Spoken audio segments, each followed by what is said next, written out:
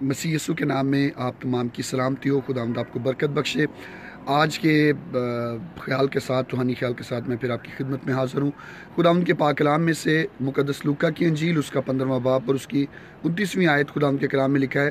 اس نے اپنے باپ سے جواب میں کہا، دیکھ میں اتنے برسوں سے تیری خدمت کرتا ہوں اور کبھی تیری حکم عدولی نہیں کی، مگر مجھے تو نے کبھی بکری کا بچہ بھی نہ دیا کہ اپنے دوستوں کے ساتھ خوشی مناتا۔ میرے چیزوں ہمارا خداون مردوں کو زندہ کرنے کی فکر کرتا ہے اور ہر ایک شخص کے لیے جو سرکشی کرتا ہے اور بغاوت چھوڑ کر اس کی طرف رجوع کرتا ہے، خداوند اس کے دل کو خوش کرتا ہے۔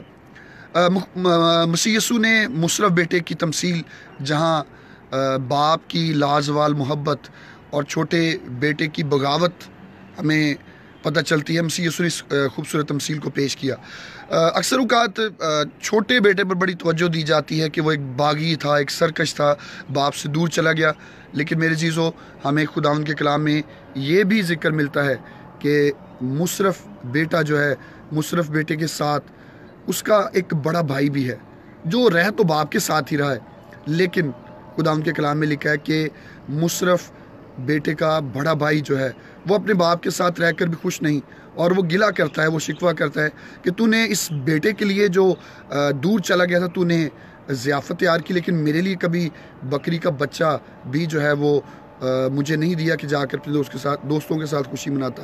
میرے چیزوں، اکثر اوقات ہم کلیسیا میں تو ہوتے ہیں، اکثر اوقات ہم خداون کے ساتھ ہوتے ہیں، لیکن ہم خوش نہیں ہوتے۔ اور گلے شکووں کی ایک بہت بڑی لمبی ایک فہرست ہمارے پاس ہوتی ہے کہ ہم نے خداون کے لیے یہ کیا خداون نے ہمارے لیے یہ نہیں کیا۔ ہم خداون کے لیے دکھ برداشت کر رہے ہیں خداون ہمارے لیے کچھ نہیں کر رہا۔ میرے چیزوں کلام میں لکھا ہے، باپ نے اس سے کہا کہ جو کچھ میرا ہے وہ تیرا ہی ہے۔ میرے چیزوں جو کچھ باپ کا ہے وہ سب کچھ ہمارا ہے۔ اگر ہم خداون کی خدمت سر انجام دے رہے ہیں اور اگر ہماری زندگی میں بھی گیلے اور شکوے ہیں، تو اس بات کے لیے پریشان نہ ہو۔ کلام میں لکھا ہے، باپ نے کہا کہ تیرا یہ بھائی جو مر گیا تھا، زندہ ہوا ہے۔ یہ جو کھو گیا تھا، یہ مل گیا ہے۔ ضرور تھا کہ ہم خوشی کرتے۔ کھوئے ہو کے لیے خوشی کی جاتی ہے۔ ہم تو خداون کے لوگ ہیں۔ ہم تو اس کے خون خریدے ہیں۔ اگر آپ بھی اس بات کا گلہ یا شکوہ اپنی زندگی میں رکھتے ہیں، تو اس شکوے اور اس گلے کو اپنی زندگی میں سے ختم کریں۔ خداون ضرور آپ کو بحال کرے گا اور آپ کو برکت بخشے گا۔ آئیں، دعا کریں۔ آئے مہربان باپ التماس کرتا ہوں ان زندگیوں کے لیے جو ہے مہربان باپ آپ کے ظلم جھکی ہیں التماس کرتا ہوں خداون اگر یہ آپ میں ہوتے ہوئے، کلیسیا کا رکن اور ایماندار ہوتے ہوئے بھی ناراض اور خفا ہیں، تو اے مہربان باپ، ان کے ایمان کو مضبوط کرنا۔ اور اے باپ، آپ کے یہ لوگ جو ہے خداون آپ کے لوگ ہیں اور زندگی، آسمان اور زمین کی ساری برکتیں آپ نے ان کے لیے رکھی ہیں۔